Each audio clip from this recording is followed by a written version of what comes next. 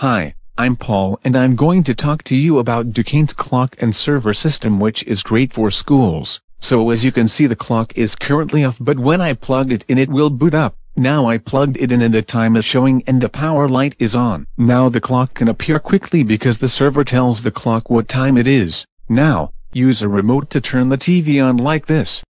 Here's a common remote used for that. Click power and point at the clock. Did you see the power light go off?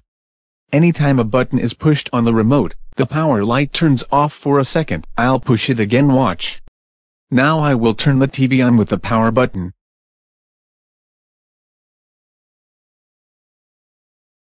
Now when it turns on, the clock turns off for a few seconds.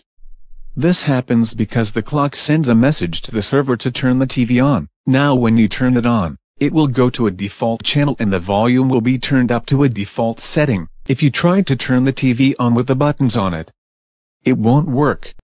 This is kind of cool because the clock disables them from working. If a clock is unplugged, the buttons will work or if the server has been taken away or unplugged, the buttons will also work there too. Now if the server has a problem, the clock will do this. Watch it now.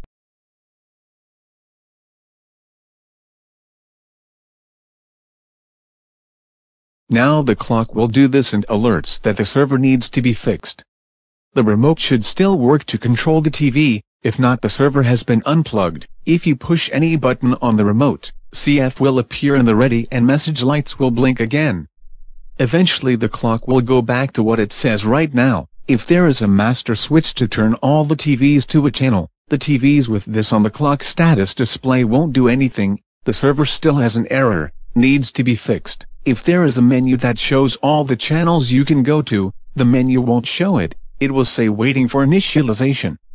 The clock won't let you change channels either. If the server can't be fixed for a while or other reason and you need to watch a channel, unplug the clock and leave it unplugged and wait 30 seconds for the buttons to work. This will allow the buttons to work and you can change channels. The remote won't work because the clock is unplugged. If the server has been fixed the clock will do this.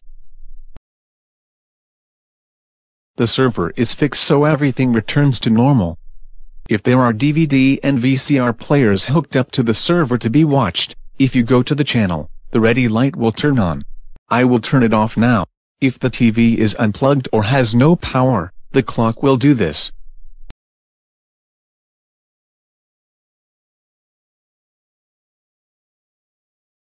The clock does that to alert you that the server can't turn the TV on or there was a failure. If any button is pushed the clock does the same thing alerting you there was an error when it tried to do the command.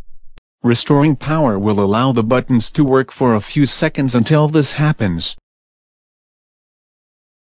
Or this. Remember this, anytime a command is requested, the clock sends a message to the server to do it. Lastly I'll tell you about the local. If the local button is pressed a menu of options will appear below, change it to the one you want then wait for it to appear the clock will do this.